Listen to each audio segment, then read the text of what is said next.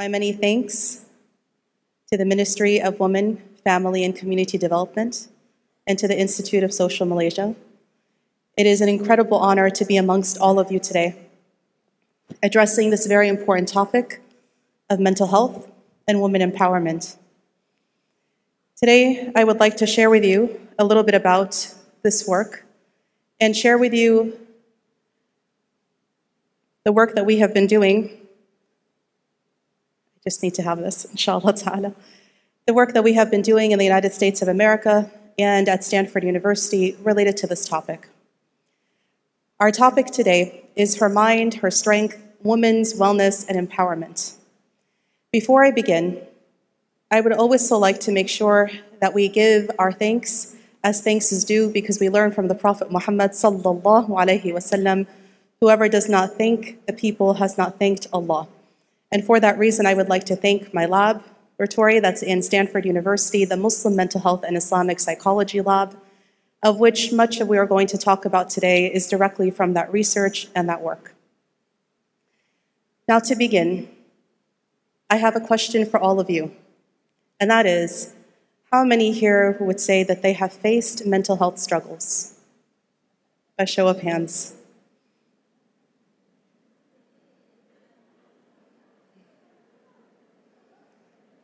Thank you for being so incredibly honest, mashallah.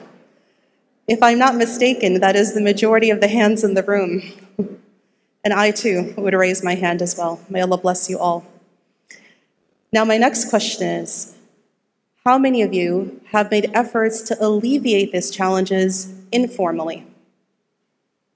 As in to say, friends and family, people who are your neighbors, your aunties, those who have are basically non professionals. How many of you would say that this is how you alleviate your mental health struggles? Thank you again for your honesty. And then, in terms of for the others, how many of you would say that you alleviate your uh, mental health struggles formally, as in to say with mental health professionals, psychiatrists, psychologists, therapists? How many of us in the room would say so? What I'm noticing is a lot less hands. And this is very common, actually, in, in why we're having this discussion today. I hope, inshallah, that by the end of this knowledge learning session, a knowledge sharing session, that we're able to understand the importance of mental health, both formal and informal, inshallah. Now, I would like to tell you a little bit about the work that we are doing as we look to the Malaysian context specifically. In the Malaysian context, if we look at the statistics that are there, you find that one in three Malaysians actually experience mental health issues. And the largest number are actually the adolescents, the young individuals, ages 16 to 19. Also, those who are coming from low income backgrounds. And this is very important for us to pay attention to, to think about how it is we form solutions, that these are two very important groups of people to work with directly. It could be financial difficulties or unemployment, it could be work related stress or family discord. But the reality is, the umbrella of mental health is very wide. And underneath it isn't just diagnosable conditions like you might think of depression or anxiety or trauma, but underneath this wide umbrella of mental health, we also include things like parenting, intergenerational struggles, between one generation and the next. Marriage, all of the different contexts in which a person may have any level of struggle actually fits into the mental health umbrella. And so, with that, it turns out this is why the majority of us raised our hand when I asked the question how many of us have faced mental health challenges? Because the umbrella is quite wide. And then from there, we want to then look at some more difficult statistics. These are not easy to talk about, and I do issue my trigger warning, as in to say, for a moment here, I'm going to talk about some difficult things. And so, if it is difficult for you to hear this, please take a moment for yourself and rejoin us when you're able to.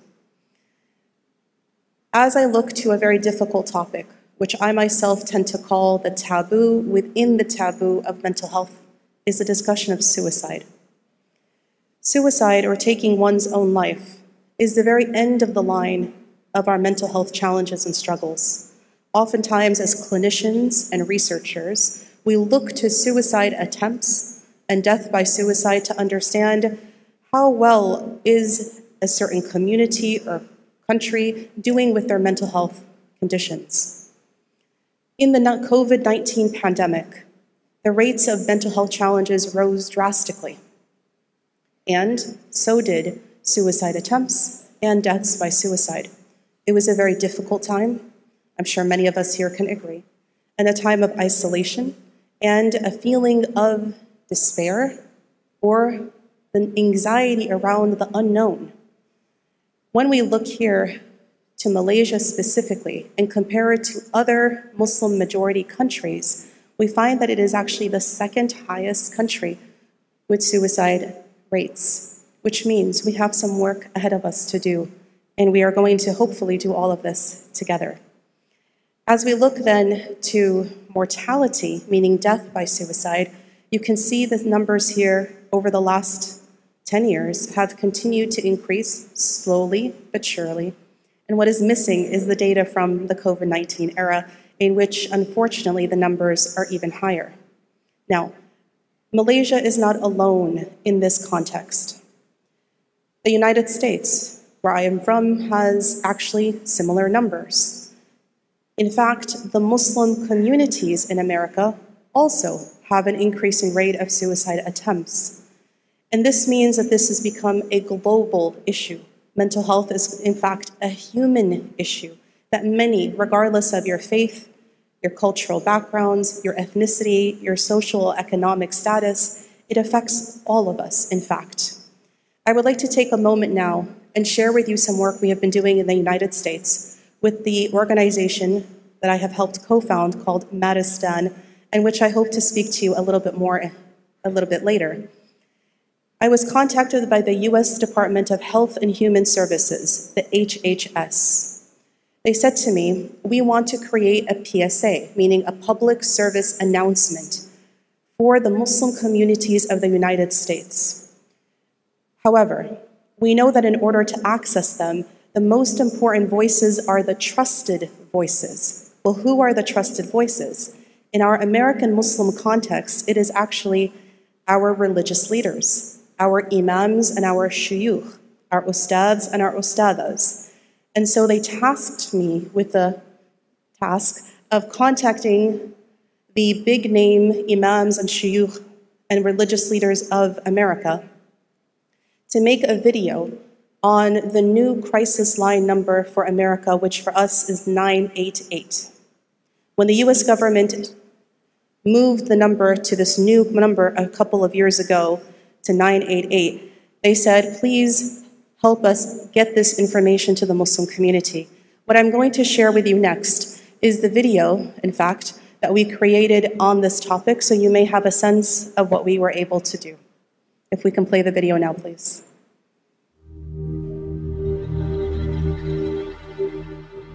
One of my earliest experiences with the topic of suicide was actually the suicide attempt of one of my own teachers of the deen.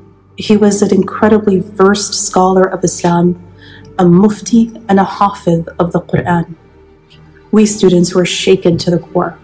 We could not fathom or understand how someone who was so learned in Islam could attempt to take his own life.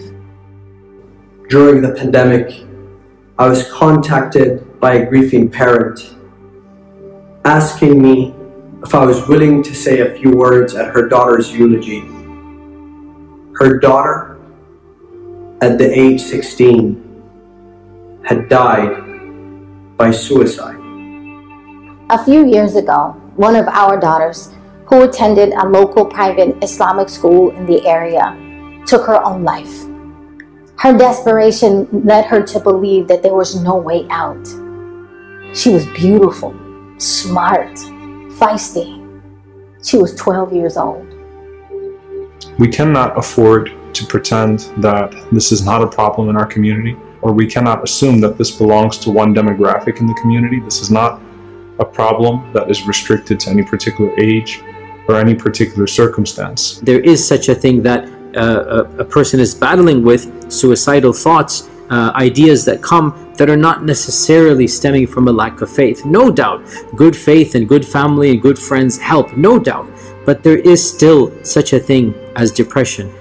I want all of us, all of us, to work together to end the stigma with mental health, to provide the help that our children need, especially young people.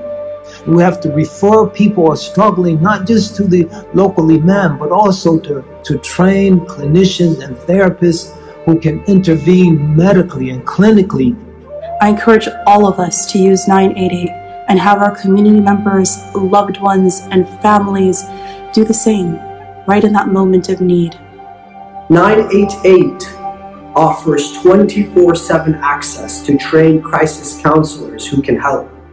If you need suicide or mental health related crisis support or are worried about someone else, please call or text. To reach the Lifeline, people can call or text 988 or chat online at 988lifeline.org.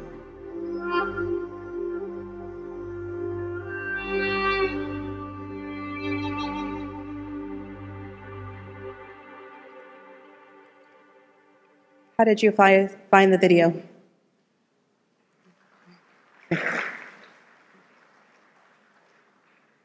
Thank you. It's definitely been a work in progress, and I hope that we're able to work with all of you here as well in Malaysia for similar outcomes. It has become very important, regardless of our faith background, regardless of our origins and social economic status, to understand mental health from a universal perspective, a human perspective. It is true that in many faith communities, that the religious leaders play a very important role, which is why we contacted them specifically to give this important message. It is my hope, inshallah, God willing, that as we're able to progress in these discussions of mental health and mental wellness, things improve. However, it may be some time before they fully improve. And by that I mean the new advances related to technology, to AI, artificial intelligence. It is very likely that with the new relations that are happening in uh, technological aspects, that we might have worsening mental health outcomes before we find better. The reality of holding in the very palms of your hand phones, tablets, in which information is coming at you into your feed constantly, and in which, for example, and we must note at this very moment, our sisters and brothers who are actually very much oppressed and under attack, Palestine and Lebanon and Syria and other countries at the moment, and all of our du'as go for the sisters and brothers of our ummah. The fact that we can see moment to moment what is happening in the very palms of our hands is very difficult. In fact, the human being was not created to withstand such images of horrific atrocities. It is definitely having an impact on our mental health and wellness. Furthermore, as artificial intelligence continues to evolve, as deep fakes continue to happen, it will be very hard to distinguish what is real from what is not real. This too will have an impact on our, on our mental health and wellness. And so we want to utilize all the advances of technology to the best of our efforts, but we don't want it to harm us at the same time, and this is a tricky balance to strike. And so, where do we go from here? Well, the conversation then, I'd like to turn to women specifically. Our conference and our discussion today is on women's empowerment and mental health, and you might wonder why. However, the reality is, every time we have a, a, program related to mental health, the majority of the people in the room are, in fact, women. You also find that the discussion, and, and we do welcome all of the men, thank you for being here. But at the same time, we want to say the importance of women in a society. By empowering her, you're empowering literally the entire society. Women make up half of our global societies and they raise the other half. And so by empowering women, you're also empowering everybody in essence. And so With, when we look at specific issues related to women, what we find, however, is often we are running ourselves empty, as in to say we are nurturers by nature. So we give, we give, we give, we continue giving. However, we don't necessarily stop and refuel. And in that way, I worry about we running on empty and burning out. It also turns out that our tradition, the Muslim tradition that has in it universal principles that are beneficial to all people, I will draw today specifically from the Islamic tradition, as that is my own background and for many in the room. But I want to emphasize the universality of the teachings of what it is that I'm going to share that is really beneficial to everybody. For example, there is a hadith of the Prophet Muhammad sallallahu alaihi wasallam, peace be upon him, that says, Verily, your own self has a right upon you. So, break your fast, pray, and sleep.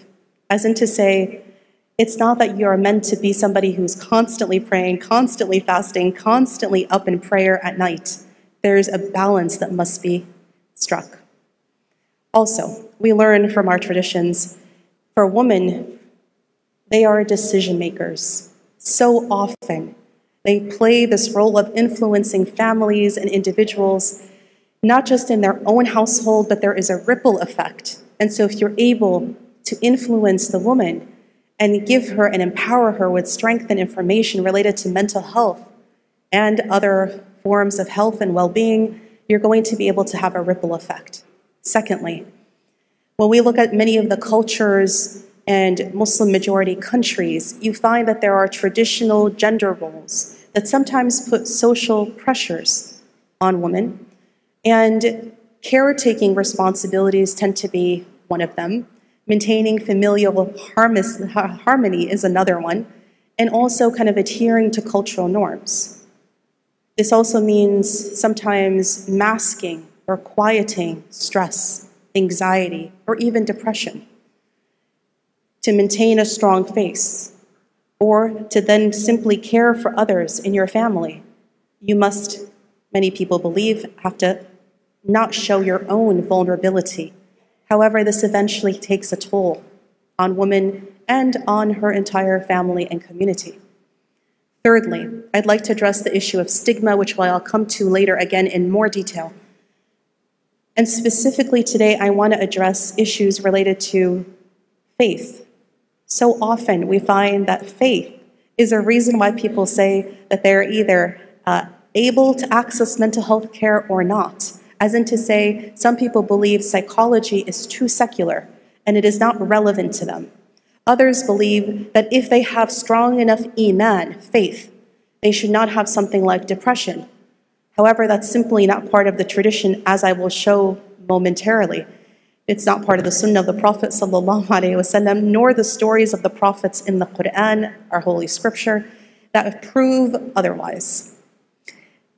Oversimplifying what we understand mental health conditions to be multifactorial, as in to say there are multiple factors as to why someone may end up with a mental health condition biology, genetics, environment, society around them, societal pressures in addition to spirituality. It could be any over one overlapping concept of any of the above.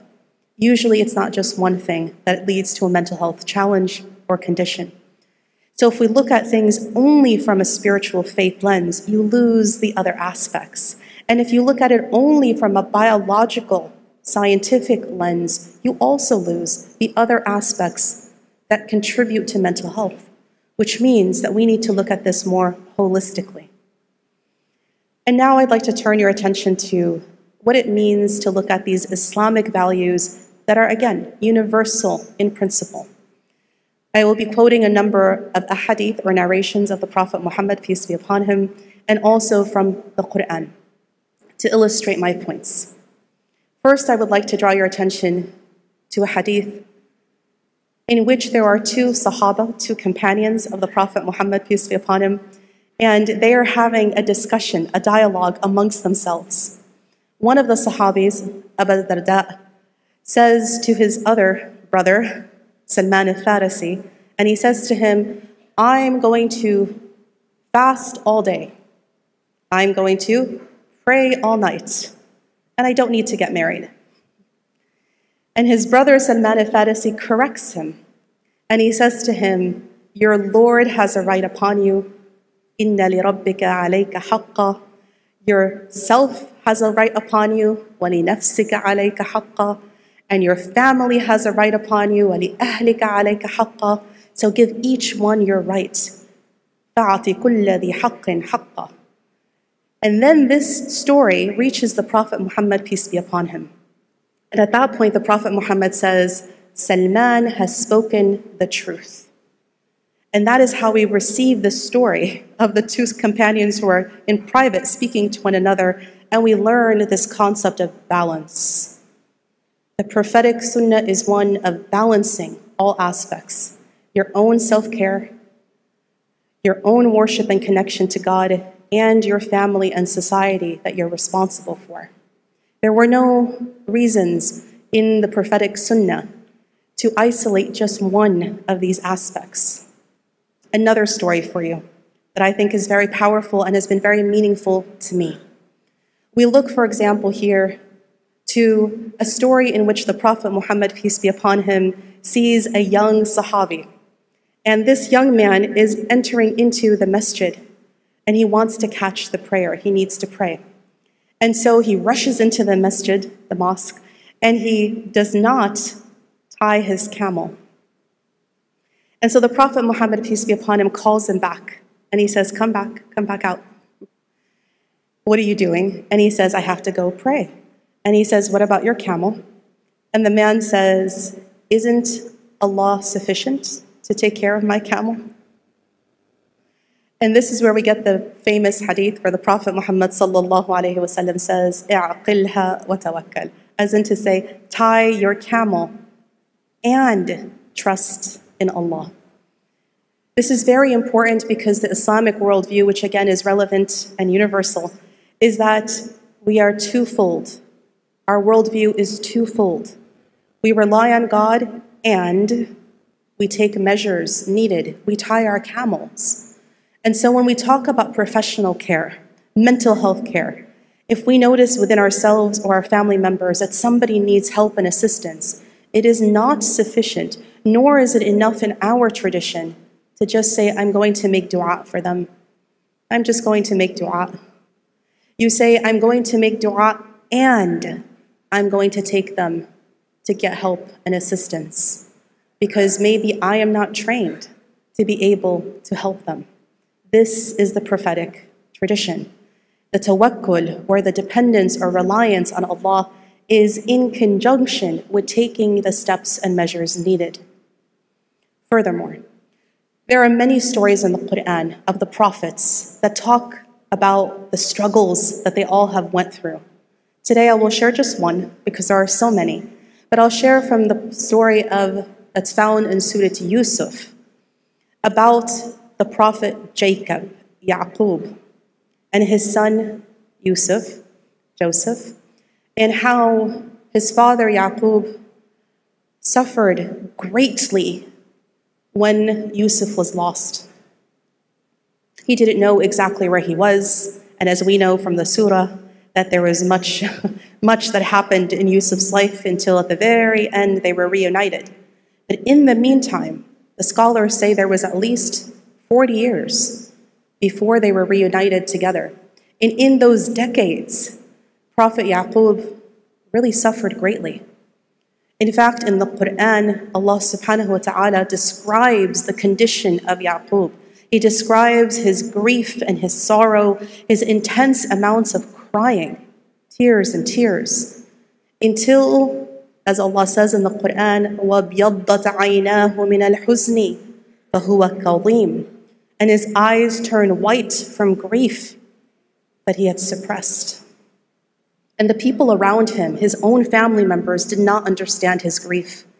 In fact, they gave him grief over it. They gave him a hard time, saying, Isn't this enough? Isn't it enough that you keep on crying and remembering Yusuf? Let it go, let it go. But the reality is, he is a father. And the loss of a son, in this case, not even knowing is he alive or dead, is so difficult Now, let me ask the audience here a question. As a prophet of God, would we ever dare say the Prophet Yaqub didn't have enough iman or faith? No. We know as a prophet of God, he had intense amounts of faith. So faith and sorrow or depression can coexist. Another question for the audience Prophet Yaqub is a man. Today we have a conference about women. And it is often, as mothers, we raise our boys. And we often, in many cultures and customs, we raise our boys not to cry. In fact, when they cry, what do we say to them? We say to them, Don't be a girl. We say to them, Man up. Here is a man one of the best of men, as a prophet of God, who is crying so intensely that literally his eyes turn white from grief. The scholars say, like a haziness, a loss of eyesight. Would we ever dare say Prophet Yaqub was not man enough? I make these points, and maybe I am pushing the envelope a little bit here, but I make these points because for the many here who are Muslim and even from other traditions of Abrahamic faiths, we know these stories. We say these stories, we know these surahs, we know this concept, yet somehow there's a disconnect in our own families and our own customs and cultures. I encourage us, I encourage us to look at the prophetic traditions. And speaking of prophetic traditions, we'll come to the Prophet Muhammad sallallahu alaihi wasallam very soon and look at his own vulnerability and sufferings and what to learn from them. Before we do so, I'd like to just make a point. You may think that in me bringing up the hadith and the Quran, that maybe I am pushing too much on spirituality and religion. You may think that I am saying we should always look at things from a spiritual lens. No, what I am saying is there must be balance between all the different aspects. I want us to take into account the biological because our tradition has no problem with science. We never had a fallout between science and religion as other societies may have. We want to make sure we look at the social, the spiritual, and the psychological. Altogether, you end up with a much more holistic understanding of the human psyche and how best to treat our conditions. So now back to the Prophet Muhammad sallallahu alaihi wasallam. A question about how did he deal with his own challenges. We know that the Prophet Muhammad sallallahu alaihi wasallam, as is said in the tradition of Islam, is khayri khalqillah, the best of all human creation. The scholars say that he is sabab khalq qawn, he is the reason, literally, for the existence of this entire universe. This is the Islamic belief. Yet he was sent to us as a man, a human being, not as an angel, perfected, no, as a human being, the most perfect of all human beings, but still a human being, meaning with struggles, emotions, and difficulties, loss of children. In fact, every single one of his children, sallallahu alaihi wasallam, died in his lifetime except for one. He buried them all himself except for one. It tells us about the struggles and the strength and resilience that was taught to us by the Prophet Muhammad. And so he often would teach us that if Allah subhanahu wa ta'ala wants good for somebody, he actually afflicts them with trials. This may be counterintuitive, but it's very important to understand the Islamic tradition. Yusib minhu, literally, he afflicts them with trials. Why? It's a kind of cleansing, it's a kind of polishing. You will not be polished unless you're rubbed. And sometimes that rubbing is hard, it's difficulties, it's challenges. You can have someone like Prophet Yaqub who is deeply suffering, yet deeply beloved to God. And this is the teaching of Islam, which I believe has universal implications. That trials and tribulations are also an expiation of sin, meaning in the Islamic tradition, we believe that it actually forgives sin. So we don't see things as tragedies, we see them as a way of upliftment. Even in psychology today, the understanding of trauma, the newest research on this topic shows that you can have post traumatic growth. That after a trauma, you can actually elevate and grow as hard as that trauma may have been. Also, we learn from the Prophet Muhammad, peace be upon him, the saying, How wonderful is the case of the believer. There is only good for the believer. When prosperity attends to them, they express gratitude, shukr, and that is good for them. And when adversity befalls them, they endure patiently, and that is better for them. So we see this world in two ways. We understand that both potentially can happen, and we accept both. And now, a very famous story of the Prophet Muhammad, peace be upon him. And I know for me personally, reading this narration has really changed my perspective on grieving, on sadness, on death, on bereavement, on grief. As I mentioned earlier, the Prophet Muhammad, peace be upon him, lost all of his children except for one in his lifetime. And here is a narration of the loss of his own son, Ibrahim, who was young child. And the Prophet Muhammad, peace be upon him, had Ibrahim in his lap as this young boy was taking the last breaths of his life. Imagine how difficult this scenario is. And the Prophet Muhammad, peace be upon him, starts to cry. Tears start coming down his cheek. And it amazed the Sahaba, the companions, his companions who are sitting with him, and they literally ask him, O Rasulullah, you cry? As in to say, they were curious. They wanted to understand is it okay to cry? Again, as a man, as a prophet. And this is when the Prophet Muhammad, peace be upon him, said his famous words Verily, the eyes shed tears. إِنَّ الْعَيْنَ لَتَدْمَعُ And the heart is grieved. وَالْقَلْبِ يَحْزَنُ But we do not say that except which pleases Allah. وَلَا نَقُولُ إِلَّا مَا يُرْضِي رَبَّنَا And then he looks down to his son Ibrahim in his lap and he says, We are saddened by your departure, O Ibrahim. وَلِفِرَاقِكَ يَا إِبْرَاهِيمُ نَحْنُ مَحْزُونُونَ it is powerful. It teaches us you can cry. This is natural. This is normative. This is how Allah created humans. And the heart can feel grief and sadness. There is no shame in this. But then look at the Blessed Prophet and the balanced tradition Islam strikes. It says, but we don't say other than that pleases Allah. As in to say, we don't push back on fate. We don't say, how come me? Why not someone else? Mm-mm, not our tradition. But we do understand that the departure of our loved ones is hard and difficult. And this is fully in line with the Sunnah. And we're not meant to suppress emotions that Allah has created for us. Sometimes people believe that emotions are good or bad. There is no such thing as good or bad emotions, as in to say people think depression is bad and happiness is good. No. All emotions, the entire spectrum, was created by Allah subhanahu wa ta'ala. And all of us will experience some level of it on the spectrum for different parts of our life. What's important is how you deal with it, not the fact that you have some sadness or depression at some points in your life. And so we continue the story about regulating emotions. And here too, I believe these are universal principles that every faith and every background can benefit from.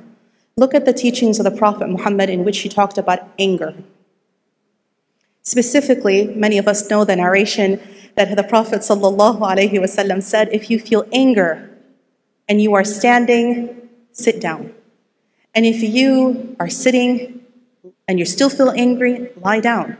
And another narration where he ﷺ said, anger is from the devil, and the devil is created from fire, and a fire can only be extinguished with water. So when one of you feels angry, go make wudu. My point in sharing these narrations that are very famous, and many people likely in the room know them, is talking about emotional regulation. We learn in our tradition if you have an anger problem, if you're easy to anger, you must do something about this. You can't just sort of say, ah, this is how God created me. No, our tradition is twofold. We must take measures to address whatever issue, nature or nurture, came to us. Furthermore, for me as a physician, as a doctor, who works directly with patients, so often my patients will say, The doctor, do I really have to take medicine? But doctor, do I really have to have this diagnosis? As in, they feel a sense of shame about the conditions they may have. And I remind them, again, a hadith of the Prophet وسلم, with universal values, in which he says to the people who of his companions who are asking him, Is it okay to get treatment if we fall sick, if we fall ill? And to that he answers, ما أنزل الله داء إلا أنزل له شفاء.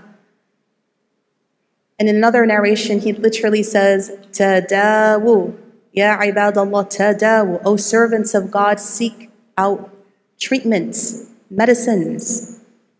فإن الله لم يضع داء إلا ووضع له الشفاء. But Allah does not send down an illness except that He sends with it treatments. And the only condition that does not have a reversible treatment is old age. Sorry, we can't have an elixir of youth, apparently, mashallah, but we can find treatments for everything else.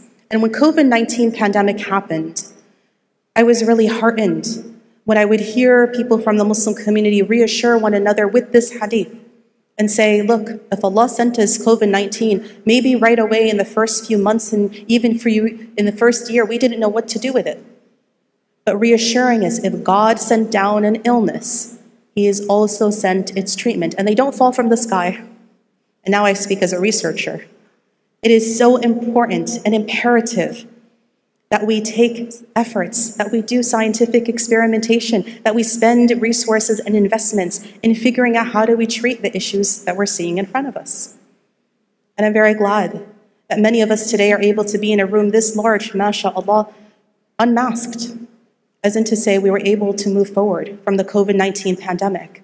Truly, if God sends down an illness, he sends with it either a treatment or cure.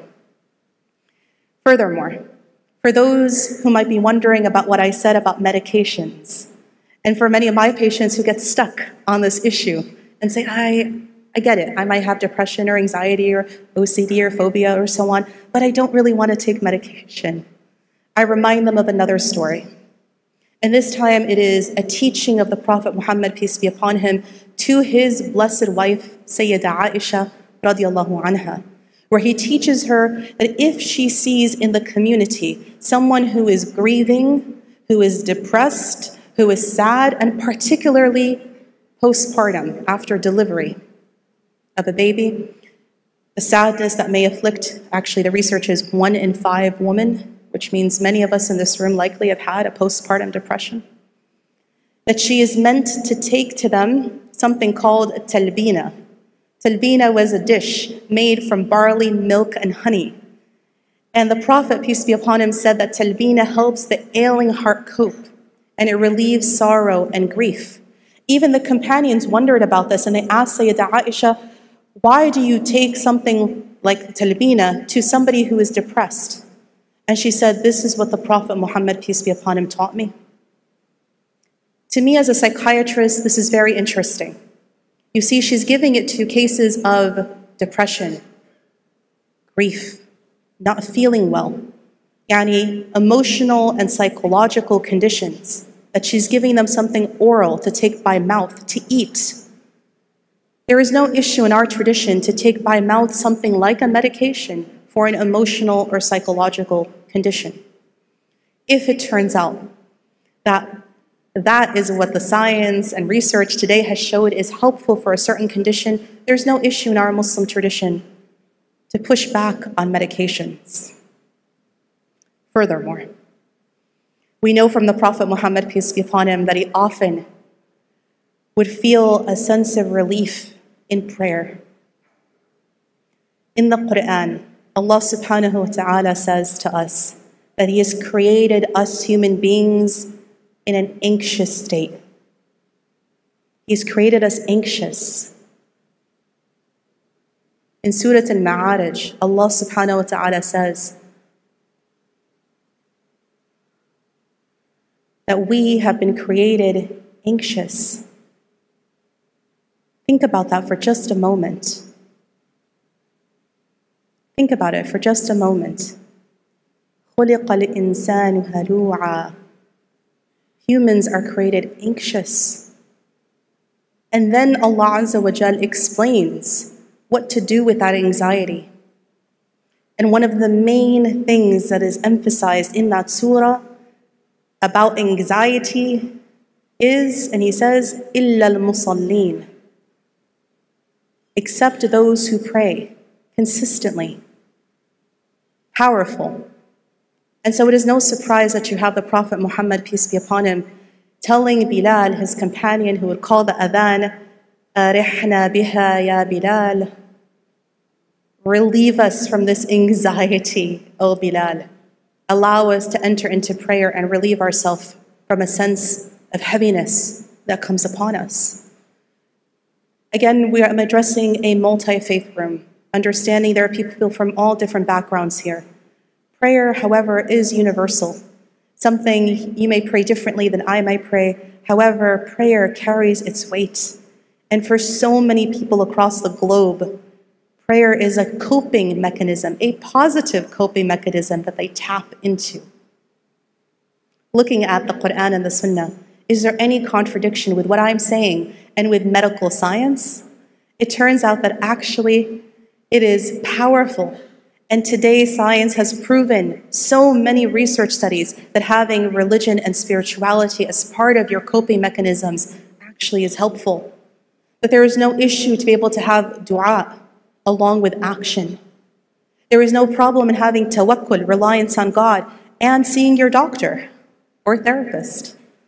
It also turns out that when we look at healthy coping mechanisms versus unhealthy coping mechanisms, you see that in addition to things like exercise, eating healthy, seeking professional help, right, problem solving techniques, all of these are useful in addition to that spiritual aspect. Whereas unhealthy coping mechanisms, using drugs or alcohol, overeating, procrastination, sleeping issues, social withdrawal, self harm, aggression, all of these are not going to be healthy. And so when we look at the healthy coping mechanisms, we want to make sure that we are consciously using them. Furthermore, self care habits. And when I say self care, so often people get stuck on hearing me say selfish. I'm not saying selfish. I'm saying self care. Everything from the religious aspects like the dua and Quran, going to the masjid and prayer, as we already mentioned, but walking, exercise, nature, socializing, good sleep hygiene. It turns out that every mental health condition is bettered by good sleep. And every mental health condition is more detrimental with poor sleep. What else? Mindfulness. This is so common today as one of the practices that are often prescribed. And it turns out that this is deeply connected with the Islamic tradition as well. We know that mindfulness is going to reduce anxiety, depression, blood pressure, insomnia. And the interesting thing is, it's a moment of pause and relaxation in your busy day. What do I mean by that? Look at Islamic mindfulness, for example. Those of you are familiar with the concept of muraqabah, literally to watch, observe, or regard attentively. In the Islamic context, we are taught to take ourselves to account before we're taken to account, and to do this on a daily basis. If you look at some of the practices of how to do Islamic mindfulness, or what I like to call contemplative meditation, the concepts of tafakkur, contemplation, pondering the meanings of the Quran and the signs around you in the world, tadabbur, and dhikr, tadakkur. It's powerful what you can accomplish even in a busy lifestyle. I come from Silicon Valley in California. It is busy, busy, busy lifestyle. And if you do not take moments of pause and relaxation in your day, Everything will catch up with you and it will affect your mental health and wellness. Furthermore, I'd like to tell you something that is helpful to me, especially in this year that has been so incredibly difficult on our ummah and on so many people globally and around the world. I've learned from my own spiritual teachers something called the three R's. The three R's to retreat, to reflect, and to remember Him often. What do I mean by this? Well, let me tell you. I want to give this in the context of women, which are the majority in the room, but men too can absolutely benefit from this too. I want to channel a practice of the Prophet Muhammad, peace be upon him. Even before he was a prophet, we know that he would go and isolate and take moments of pause and respite in the mountain called Jabal al-Nur, the mountain of light, in the cave of Hira, Ghar Hira. And he would do this so often. And before prophecy came to him, he would increase and increase the time. It was like he knew something heavy was coming and knew to take pause and needed to really reflect mindfully every day. After becoming a prophet, he then had a tradition called i'tikaf, or a spiritual seclusion. And this is one of his sunnah mu'akkada, confirmed sunnahs. Why am I mentioning this? I find as women especially, many women have never tried the process of i'tikaf. You ask many women, in fact, if you don't mind, if I can ask this very room, how many of the women in this room have done i'tikaf in their life?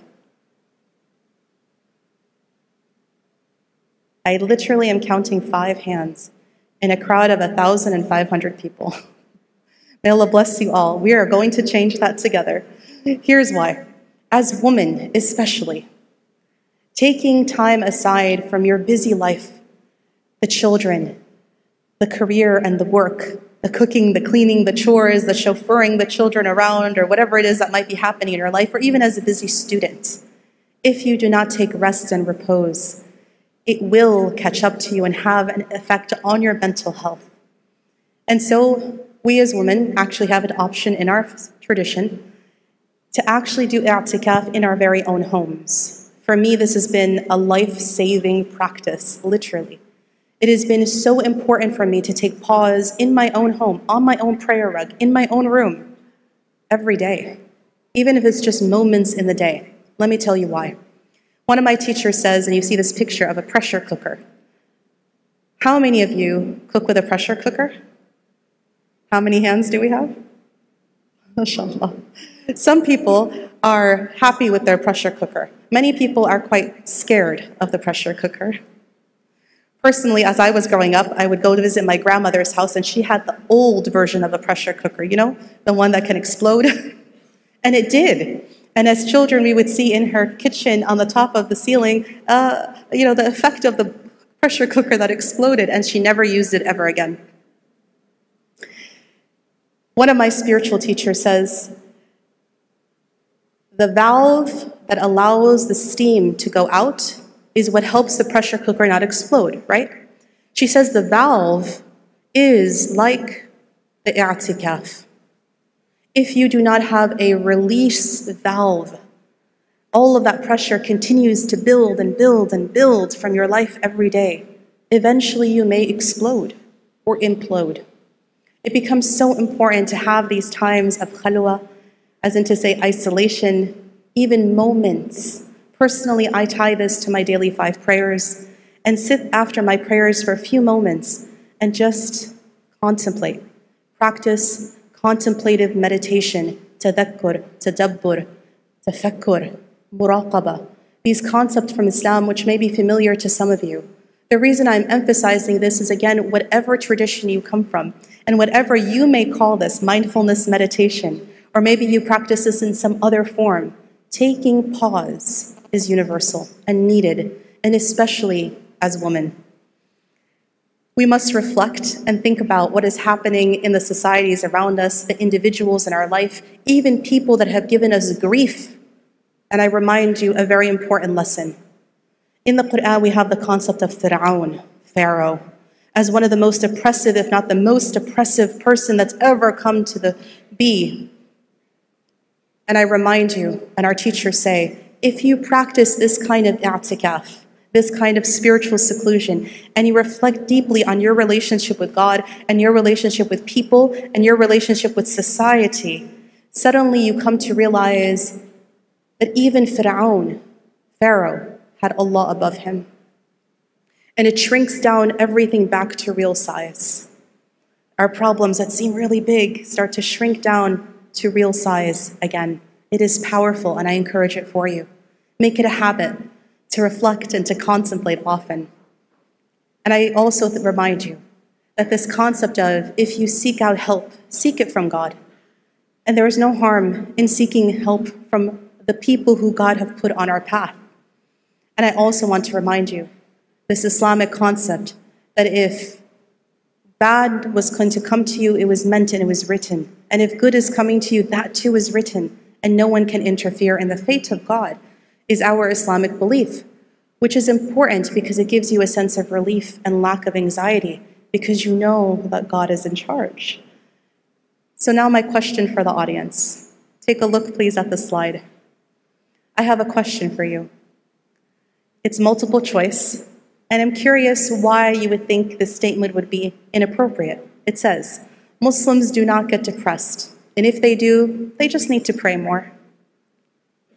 What do you think the answer to this would be?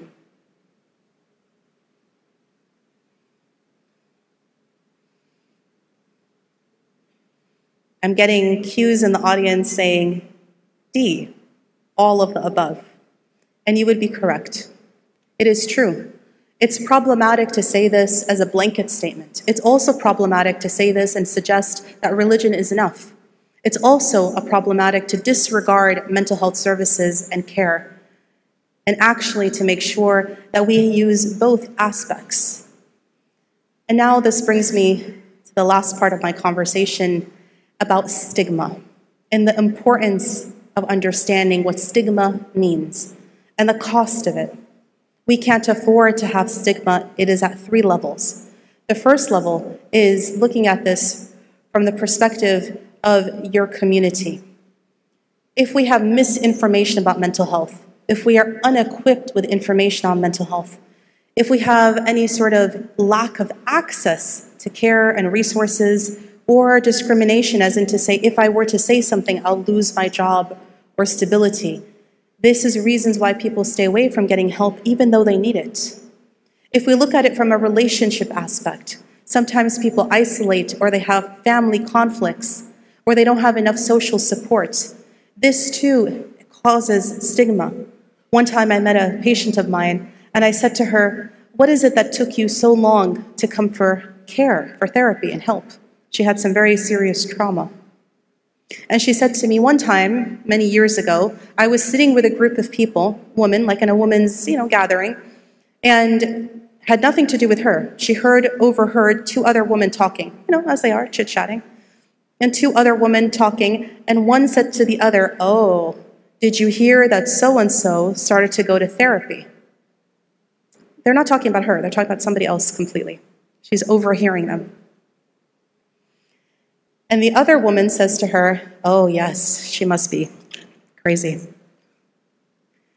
And so the woman who became my patient later said inside of herself, Well, if that's how they talk about our friend, I'm definitely never going to therapy and getting help.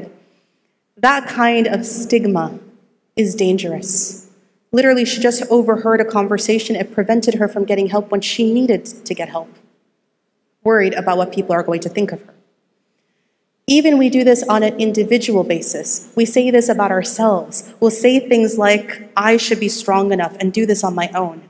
I should have better self esteem.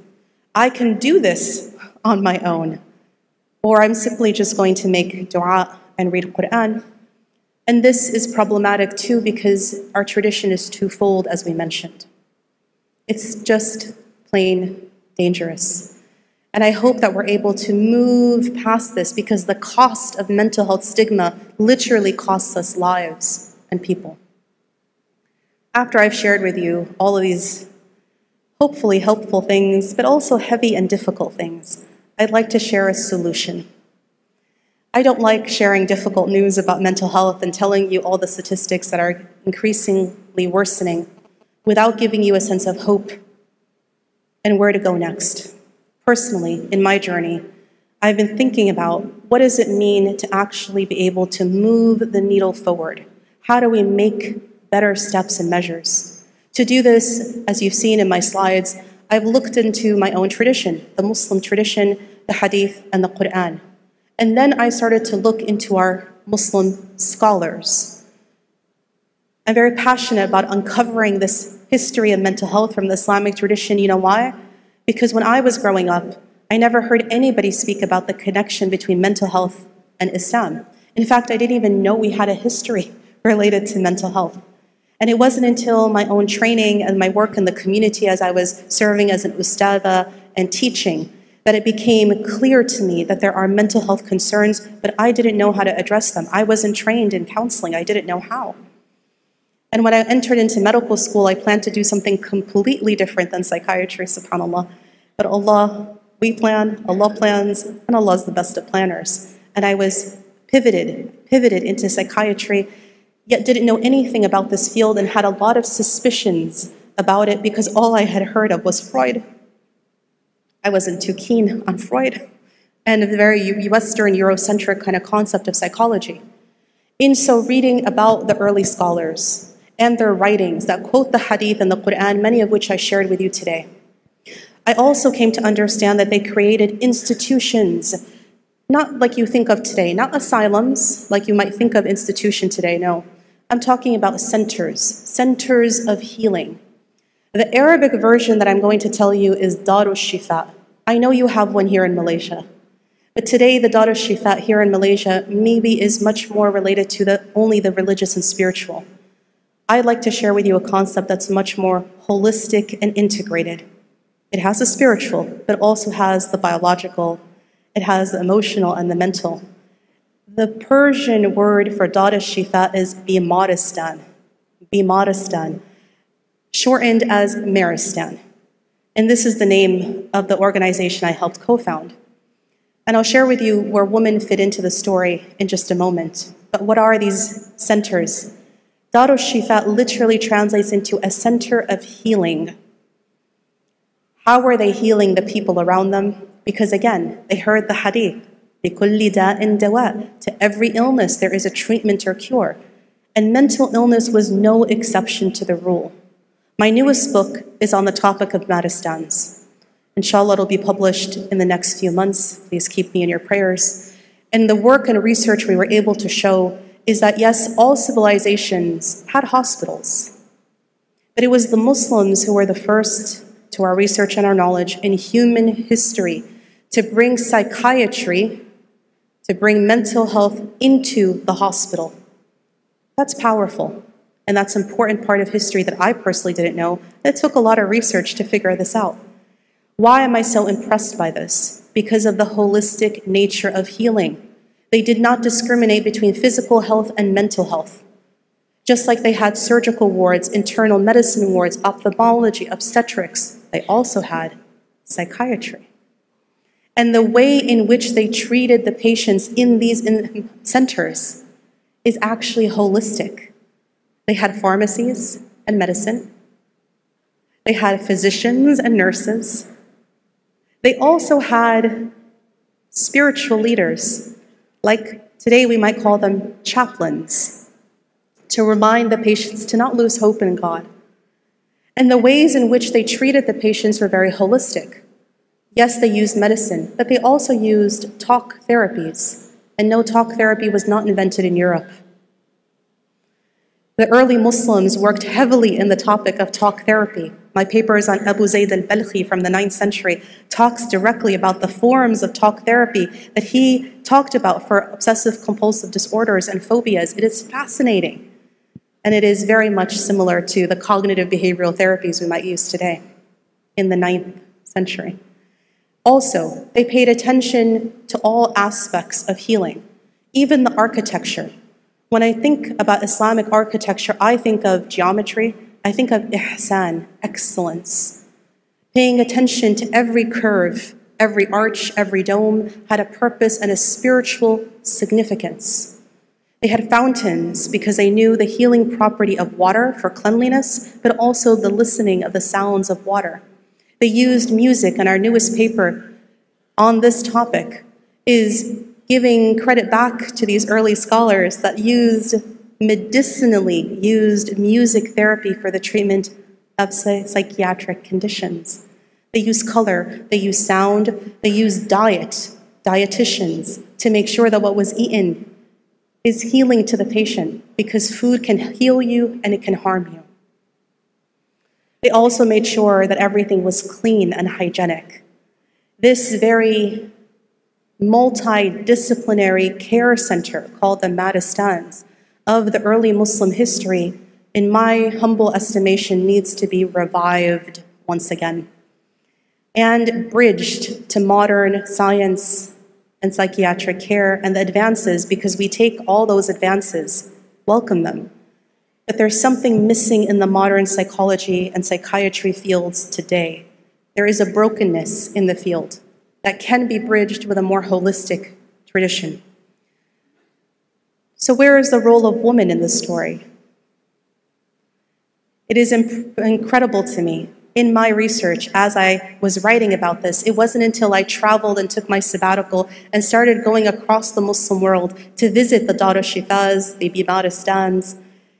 And it wasn't until I reached Turkey, because Turkey had the latest right, of the Muslim dynasties, the Ottoman Empire. And so many of these institutions are still standing today. And it was incredible to me how many of these healing centers were founded, funded, or endowed or designed by women.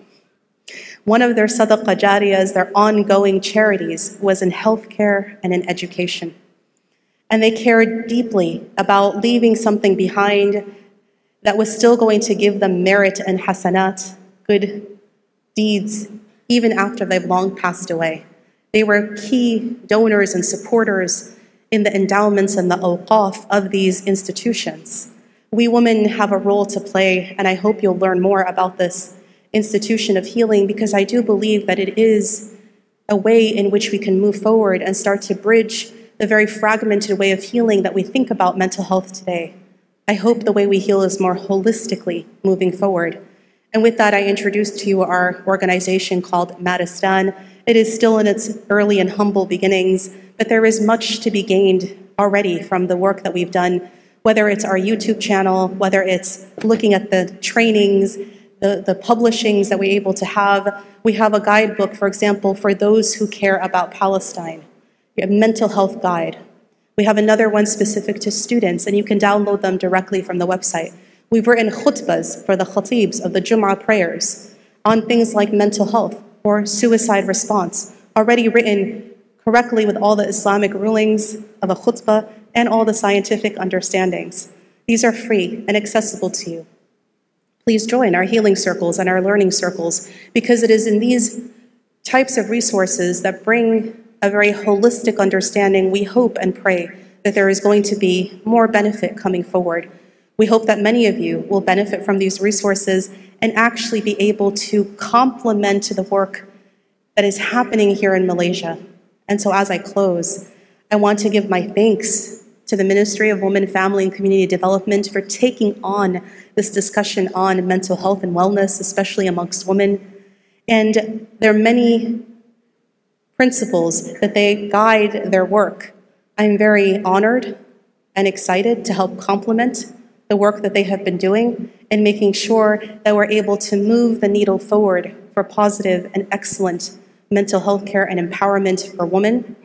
And with that, I thank all of you. I want to make sure you have resources. These are your resources here in Malaysia helplines and information around mental health, and you're welcomed to scan the QR code if you're thinking of how do I access mental health care for my families and my loved ones here in this country. There are some excellent organizations and work that have already started.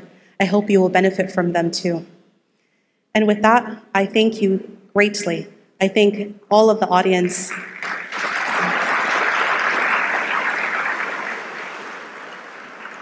And I thank Our Majesty the Queen.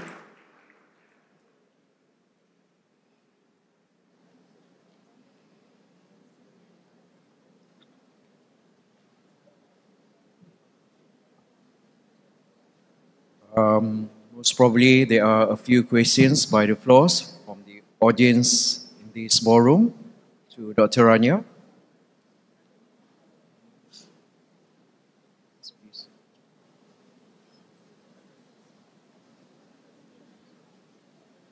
Assalamualaikum, uh, Dr. Rania. My name is uh, Azlina. I'm from. I'm a teacher educator from the National University of Malaysia, and uh, I'm beginning to notice um, in my um, educational institutions that there are more and more of our students uh, who suffer from mental health issues. In each cohort, there'll be one or two uh, who has mental health issues. And um, one of the things that I find is that it's either that they tell us personally that they have mental health issues, or the other thing is um, it may be manifested through their poor academic performance. So, um, as an educator, I do not feel equipped to um, guide them in terms of mental health issues. And very often we refer them to counselors. But my question to you is how do we, as educators, and uh, particularly in uh, educational institutions, create spaces uh, to um, discuss about mental health issues and to destigmatize mental health issues uh, among our students? Thank you. Thank you. Walaikum assalam rahmatullah. Thank you for the question. And here I'd like to share with you a pot- potential resource for you. In the organization I mentioned earlier called Maristan, we have a program specifically for students. It may be a benefit for you to look at how it is that we've been addressing this. It's called MMHI, or Muslim Mental Health Initiative. The reason we took on this initiative, which actually you can find a branch of it in Stanford University, where I'm located, also the University of California, Berkeley, nearby, and the reason we actually put these on college campuses and in other educational institutions is because we are noticing that mental health conditions, especially after the pandemic, have A, gone up, B, the generations coming forward are more willing to speak openly about the issues related to mental health and or as you mentioned it may just show up in their academic performance. However there wasn't really a space for this kind of work. Or the students had their own stigma as we talked about from seeking out support and care. So one of the things that mmhi program does is provide psychoeducation education around mental health. Open and we have this regularly talks and webinars seminars classes related to mental health normalizing the discussion. Even some of the students on my campus at Stanford University made a video, the Muslim students made a video where they went around from student to student asking, Have you ever had a mental health challenge? And some of them started to tell their own personal story if they were comfortable, but it encouraged other people and normalized the conversation. The program also brings in counselors because we noticed they weren't accessing the mainstream counseling services on the campus. They wanted somebody from their own background, culture, and faith. And that was very helpful to integrate Islam, in this case, because they were Muslim students, into the therapeutic process. Once we instituted the MMHI program on the campuses, suddenly we started to see people were accessing the services. In fact, every slot for counseling was taken. And we increased the number of counselors and increased the number of services because we saw the uptake was happening better. Sometimes you have to create space and create the normalization in order for the students to actually start to respond. So I hope that is helpful to you, and the MMHI program is available on the website to look at more deeply, inshallah.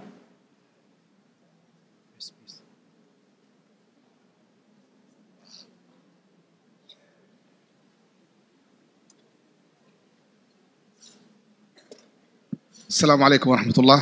Uh, first of all, I would like uh, to thank you for this wonderful presentation that uh, really were uh, learn a lot about this uh, topic. I'm Adil Bahamid, ambassador of uh, the Republic of Yemen in Malaysia. And by provision, I'm a medical doctor and a teacher of community medicine in the Faculty of Medicine.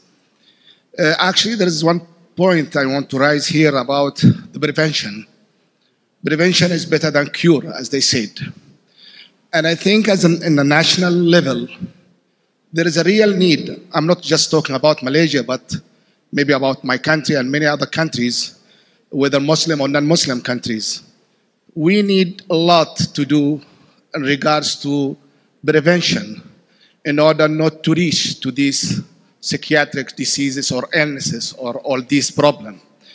Uh, so, so that's why I think there is a real need in order to design a national program for prevention and also for empowerment and mental wellness. And this one will need the efforts of everybody in the society, not only the Ministry of Health or those who are related to the medical issues, but also the Ministry of Education, the Ministry of Media, the Ministry of Religious Affairs, and everybody on the, should be on the board. So I think it's time to design such a national program that will prevent the new generation from getting uh, to these uh, illnesses and diseases. Thank you so much. Thank you. Alaikum assalam wa barakatuh. Ya hala ahli Yemen. It's wonderful to have you here and ask this question. And I absolutely agree that prevention is better than actual um, having an illness and then needing to treat it. This is very true. From the public health framework, we understand that if we are able to do prevention, we won't actually go all the way down the line or as far down the line in order to then treat the conditions that have worsened over time because there hasn't been direct help early on. Even early intervention is better than later intervention. So, what do you do for prevention? In the model that we have, I shared a little bit about the model of Maristan as the, as the healing center. Something I didn't share, which is very important to me, is there are two branches to the work we do. One is educational, because that is where the prevention work happens. It is getting down into the very communities. It is training our imams. We have an entire training just for our ustadhas and ustads on suicide response, for example, and other mental health conditions because we know they're frontline responders. We also have these webinars and learning circles related to this topic because if you can have early detection, and early intervention, you are much better apt. The second half of the work, two parts, is clinical, because then you need to have implementation of the theoretical education and research. There must be direct implementation. But I agree with you greatly that having a national prevention work will go a very long way. So thank you for this. Thank you, Dr. Rania. And we're still open to the floors for the Q&A session.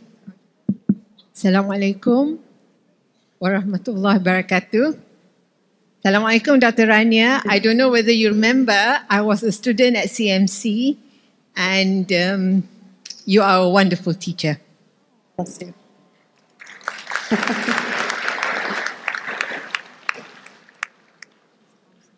My question is after I got back from CMC, and I got more directly involved in counseling and um, psychology in Malaysia.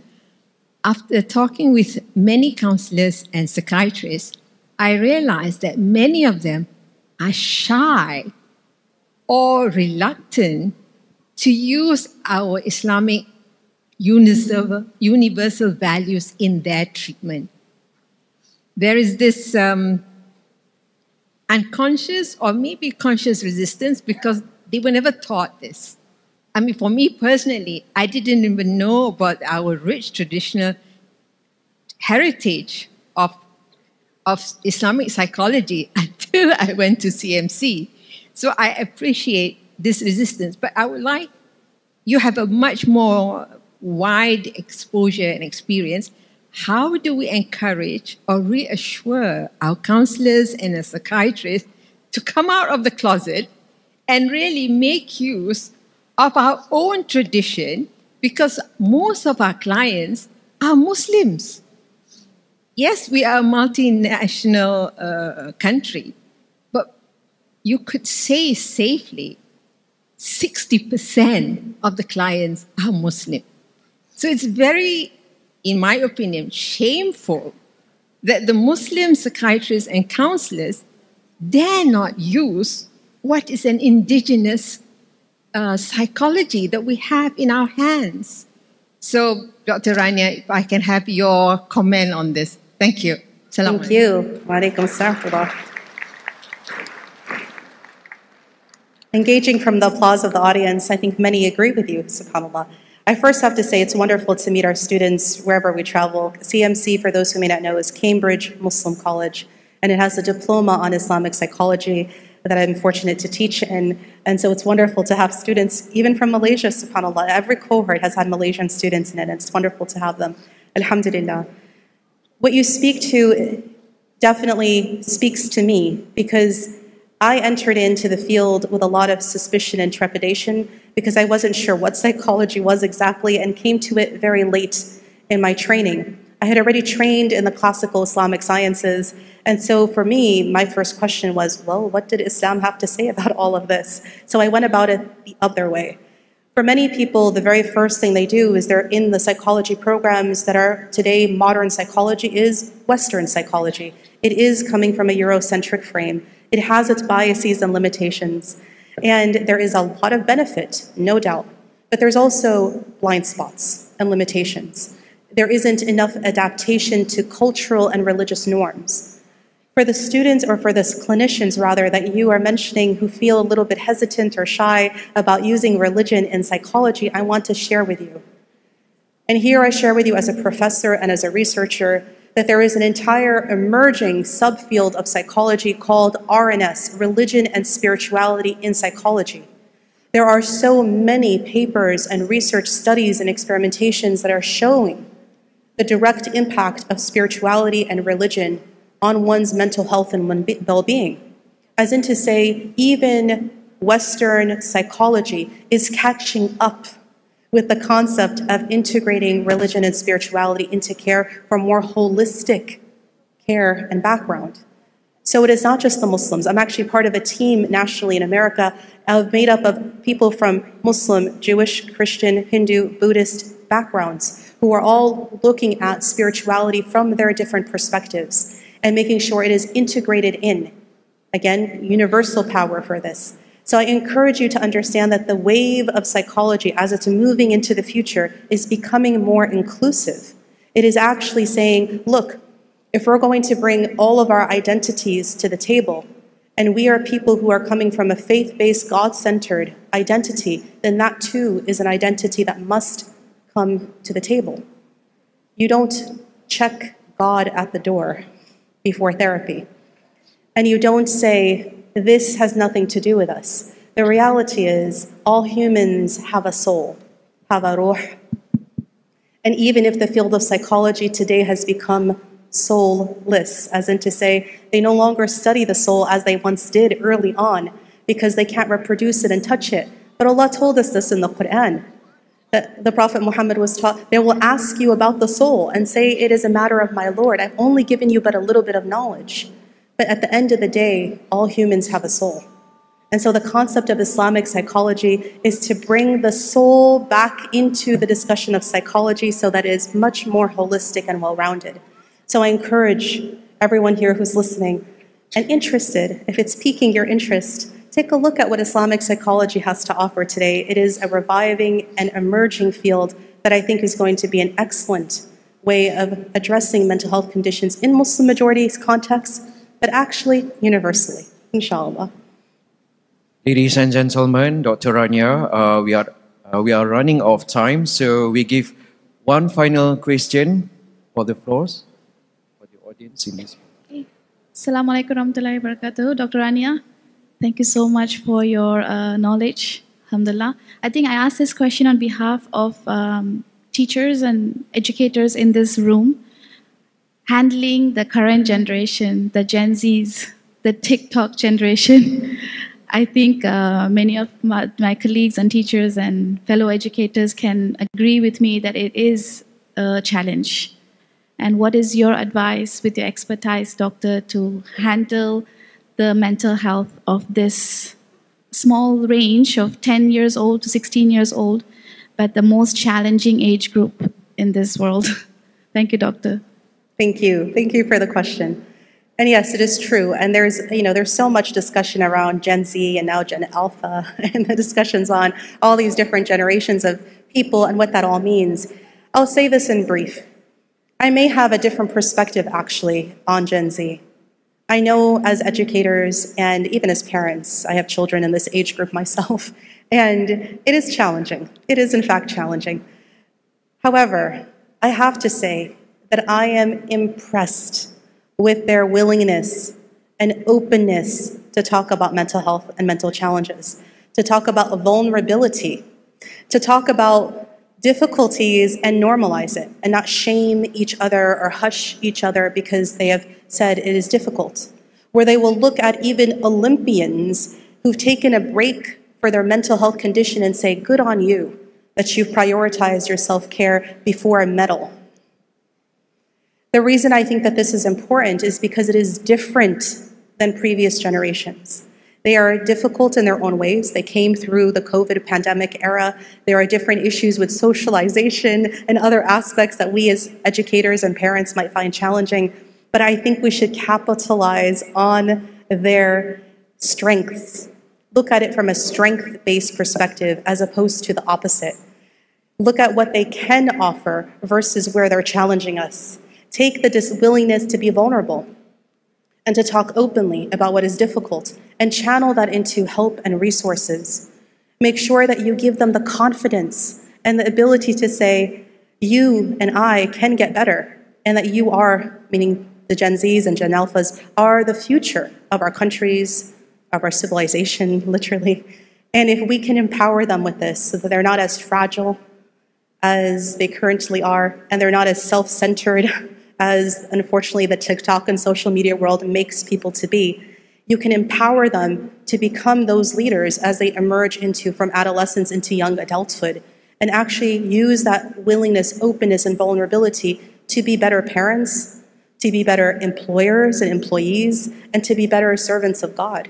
I believe this firmly. I actually have a lot of hope in these next generations. And I hope, inshallah, that we, the other older generations can look at them for their strengths and be inspired by them as opposed to challenged by them, inshallah.